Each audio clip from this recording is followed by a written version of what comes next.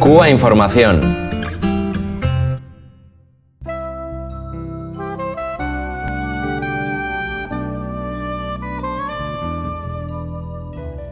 Tengo el placer de hablar sobre eh, un libro que es este que está aquí, Tengo algo que contarte, está editado por la, por la guerrilla comunicacional. El libro nace una, por un encuentro casual que yo tengo con un grupo de compañeros de la guerrilla comunicacional aquí en, La Habana. Por supuesto, como tengo antecedentes eh, genéticos españoles y además tuve la vivencia de trabajar en España durante cinco años, pues realmente me siento muy sensibilizada y convocada cuando encuentro amigos de Cuba transitando por La Habana. Y en efecto nos encontramos, conocí a estos compañeros y dentro del grupo venía una compañera que se llama Pilar Sebas, con la cual establecí de inmediato, establecimos una conexión que yo diría cósmica, ideológica, personal. Eh, inmediatamente empezamos a contarnos de la familia, de, los temas políticos, de los retos de la vida, de la vida de las mujeres, eh, de, de, los retos ideológicos, de la situación a nivel global de su país, de mi país. Bueno, aquello fue tremendo. Estuvimos conversando como dos horas. Y el compañero, no nos habíamos dado cuenta que un compañero observaba con mucho interés cómo se desarrollaba ese, ese diálogo. Y de pronto Julio, que es el compañero que está dentro de la dirección de la guerrilla, dice, chica, ¿y por qué no hacemos, por qué no se inicia una correspondencia entre ustedes? Dígole, no, ya eso está pactado. Nosotros nos vamos a continuar escribiendo porque evidentemente parece que nos conocemos desde hace muchos años y tenemos muchas cosas que contarnos. Eh, dice Julio, no, pero es que esto lo podemos lo podemos publicar en el blog de la guerrilla. ¿Tú estás de acuerdo? Sí, yo estoy de acuerdo. Pili, ¿tú estás de acuerdo? Sí, estás de acuerdo. Pili asumió el nombre de Vicentita. Y yo, como lo conocí en La Habana, digo, bueno, pues yo la habanera. Porque realmente vivo no solo enamorada de, la, de, de mi país y de la revolución, sino de La Habana, que está próxima a cumplir 500 años. Eh, todos los días descubro algo nuevo en, esta ciudad, que tiene muchos retos constructivos, pero que tiene la belleza insólita de, su experiencia, de su antigüedad, de su resistencia, no solo ante los avatares políticos, sino incluso climatológicos. Entonces, pues nada, yo dije, bueno, pues yo soy la, eh, la. Y se inició una correspondencia sin que se delatara o se informara en ningún momento que Vicentita era Pilar Seba y que la Habanera era Regla Díaz. Tampoco teníamos ninguna de las dos la idea de que esto fuera a tomar forma de libro. Jamás nos pasó. Y un buen día a ambas nos sorprende la propuesta de que esto iba a ser, eh, iba a tomar forma de un libro, que es esta joya de edición que tenemos aquí muy lindo. Varios compañeros me han dicho, Reglita, es un libro editado con mucho cariño. Dígole, bueno, yo creo que está editado con el amor de la solidaridad, con la entrega de la solidaridad. Eh, yo me siento muy, eh, puedo decir, muy agasajada, porque además es mi primer entrenamiento público de escritora pública eh, siempre he escrito para mis amigos, mis amistades y bueno, por funciones propias del trabajo que he desarrollado, que desarrollé en mi vida profesional. Y me ha sorprendido muy gratamente esta edición que la considero muy, muy bien hecha. Es una edición de lujo, muy bellamente diseñada. Y además para mí lo más, lo más importante incluso está implícito pero no visto.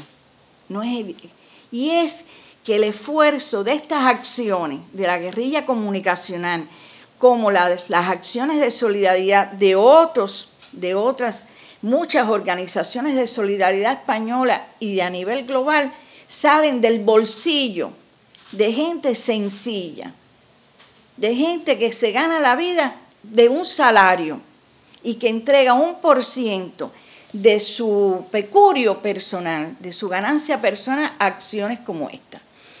Para mí tiene un valor enorme, más allá de lo personal. Cuando me hicieron la propuesta y recibí la primera carta de Vicentita, yo me di cuenta que Vicentita era una escritora de marca mayor.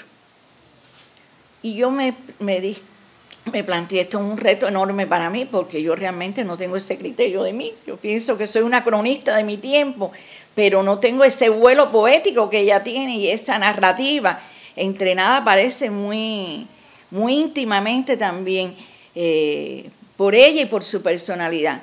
Pero le encontré el valor añadido de que era una ventana para hablar como ciudadana, como mujer, como cubana de mi país hablar de mi país.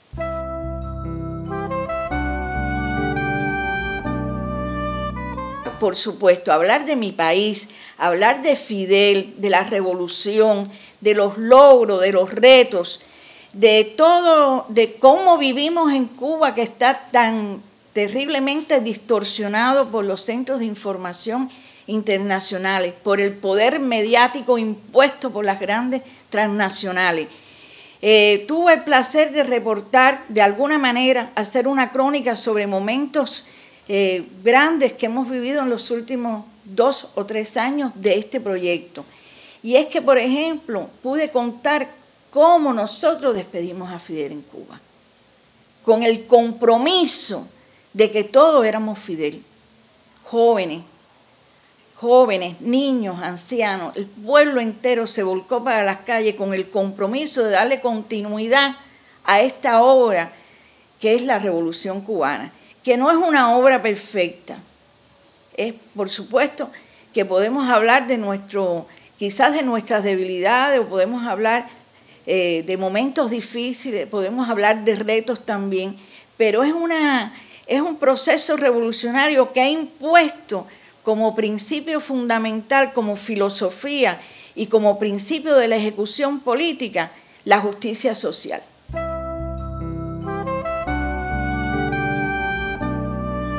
Yo tuve la, suerte eh, de infinita de trabajar cerca de cinco años en la Embajada de Cuba en España. Eh, primero como eh, primer secretario y después como consejero de prensa pero además del trabajo con la prensa atendí la solidaridad. Y además por las circunstancias en que nuestras misiones diplomáticas en el exterior en muchos casos son sedes diplomáticas y a la vez residencia, pues vivía en la misma embajada. Porque nuestra política exterior, nuestro servicio diplomático, eh, se corresponde con la austeridad con que vivimos en Cuba. No es un servicio diplomático que cuente con excepciones eh, de confort ni de presupuesto es elevadísimo. Y por razones de ahorro, pues vivíamos en la misma embajada. Tuve la enorme experiencia, ¿y por qué comento que vivíamos en la embajada? Porque al vivir en la embajada y los compañeros, la solidaridad, saber eh, que vivía allí, pues aparecían los sábados y domingos con donativos, porque era un momento dificilísimo para la revolución cubana. Y la solidaridad española eh, no solo apoyó eh, desde su frente, nos apoyó políticamente, sino también de forma material. Eh, los compañeros se, empeñaban en, hacer llegar a Cuba apoyo material.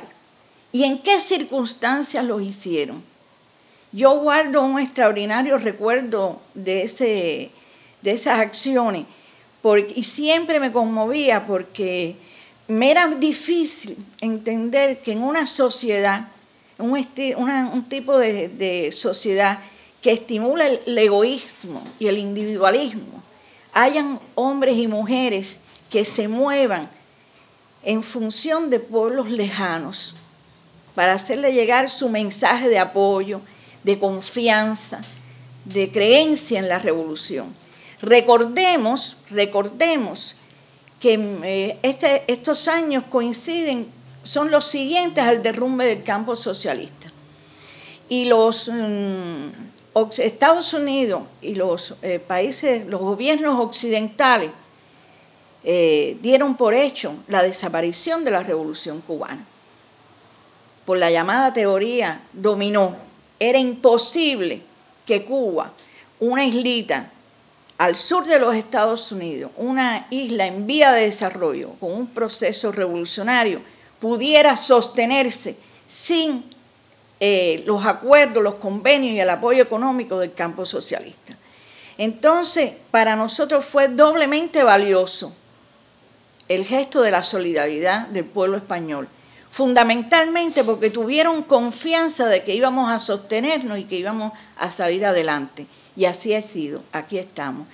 Otra cosa fue que tuve experiencias enormes, enormes. Eh, recuerdo, por ejemplo, no sé si es válido, pero me gustaría mencionarlo. Yo pienso que el pueblo español tiene eh, muchas eh, reservas de nobleza en su espíritu y de lucha. tienen, cuentan con toda mi admiración y respeto. En la política hay, hay vaivenes en correspondencia con la tónica del gobierno que está en el poder. Pero en, pero en, los, pero los corazones de los pueblos no.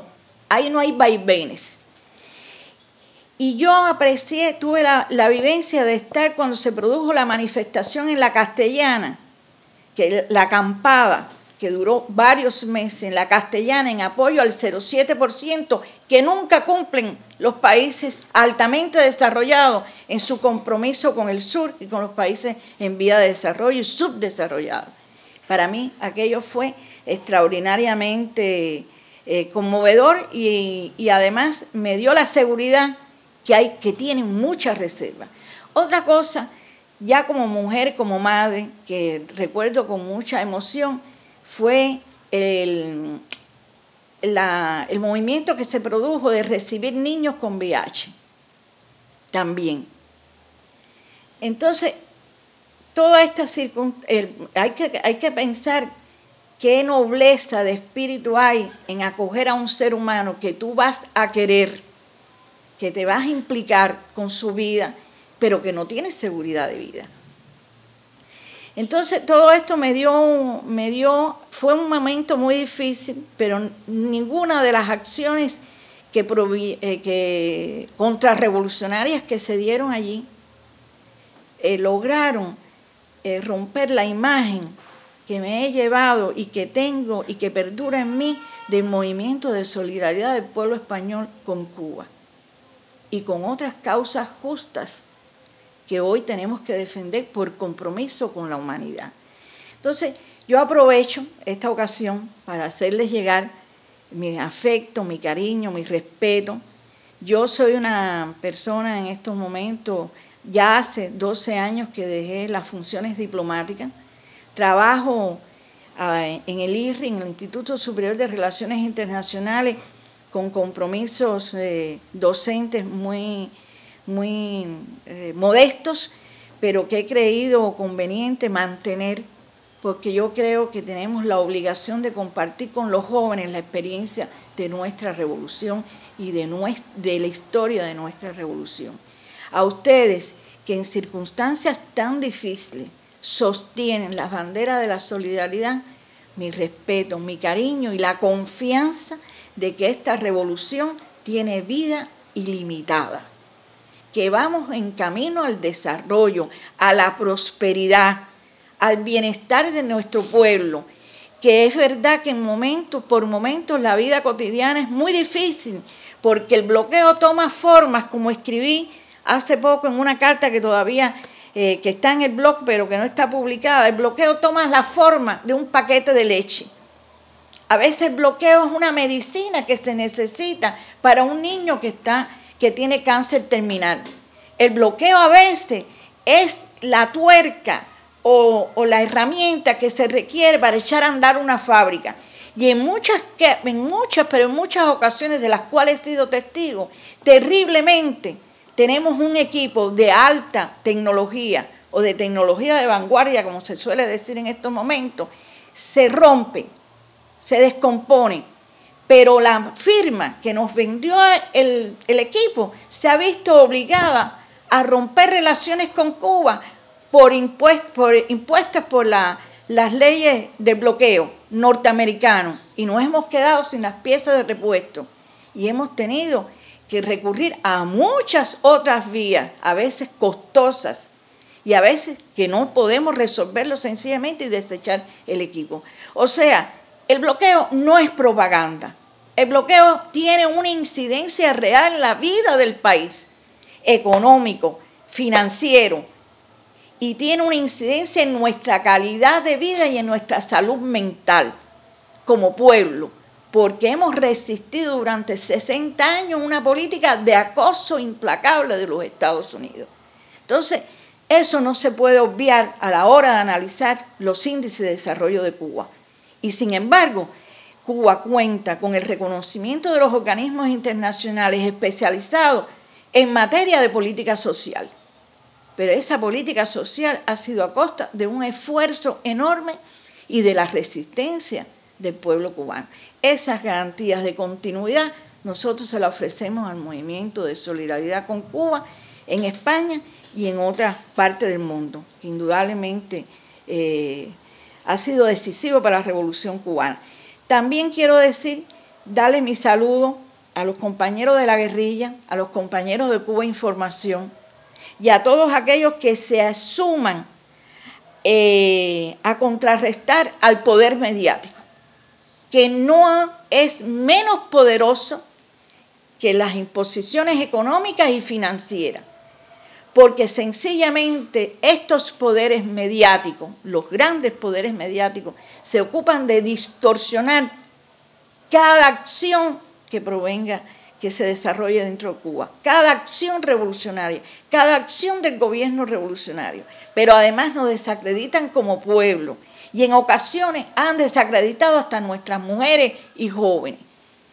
Entonces, por lo tanto, creo que la labor que desarrollan ustedes los compañeros de Cuba Información, de la guerrilla y otros compañeros, otras organizaciones de solidaridad que se han sumado a las acciones en las redes sociales, eh, cuentan con toda nuestra admiración y por supuesto con todo el apoyo que podamos ofrecer. En primer lugar, gracias por estar, gracias por mantenerse. Y en este agradecimiento va implícito el compromiso de nosotros hacer de esta de este país, de esta revolución, un país mejor, un país sostenido en principios de solidaridad. Nuestra solidaridad se ha expresado fundamentalmente en el internacionalismo. Es un principio, un principio de nuestra política exterior. Con el internacionalismo estamos y nos mantenemos comprometidos, a pesar de que hay gobiernos de derecha, como en este caso, eh, el gobierno, el actual gobierno brasileño, que no quiere reconocer el peso de esta contribución. Eh, pero a todos ustedes, muchas gracias por estar, por mantenerse. Hay que continuar, hay que continuar, no solo por Cuba, sino por la humanidad. Nosotros tenemos, nosotros desde Cuba luchamos no solo por Cuba, luchamos por el compromiso de justicia social sobre todo con los pueblos del tercer mundo, que están excluidas, excluidos de la élite de poder. Y en estos pueblos, e incluso en las grandes potencias, sufren los que menos tienen, los que menos eh, reciben. Entonces, vuelvo y repito, muchas gracias por estar y cuenten con, con el compromiso nuestro de continuar. Esto ha sido, lo he hecho realmente con mucha ilusión con mucha transparencia, porque abrazo la idea que hay que ser, hay que apegarse a la objetividad. Nosotros tenemos muchos problemas que se derivan de las terribles condiciones, del, del terrible orden económico mundial impuesto. A veces se le quiere pedir a Cuba y a los países del sur lo que es imposible responder porque no estamos en el esquema de distribución de este orden económico injusto. Y esto, pero ¿qué sucede? También hemos cometido, eh, ha habido errores por parte de la dirección de la revolución en algunos momentos. Por ejemplo, la ilusión, eh, el abrazar el humanismo sin considerar la aportación individual. Estamos trabajando, ahora se trabaja, ha tenido un proceso profundamente democrático, donde se ajustan los principios constitucionales a lo que realmente posibilita nuestra economía enfrentar. Y se va a una retribución acorde a la aportación social. Y eso podíamos haberlo, pues, se pudiera haber eh, contemplado con anterioridad, pero el afán de justicia, pues ennubiló este, este principio económico y este principio político. Pero al margen, y creo que esto hay que decirlo, nosotros en el libro, en estas cartas, hemos hablado con absoluta transparencia de lo que hemos, de cómo es nuestra realidad, con todos los atributos y valores que nos hacen sentir eh, muy orgullosos de ser cubanos y de ser revolucionarios.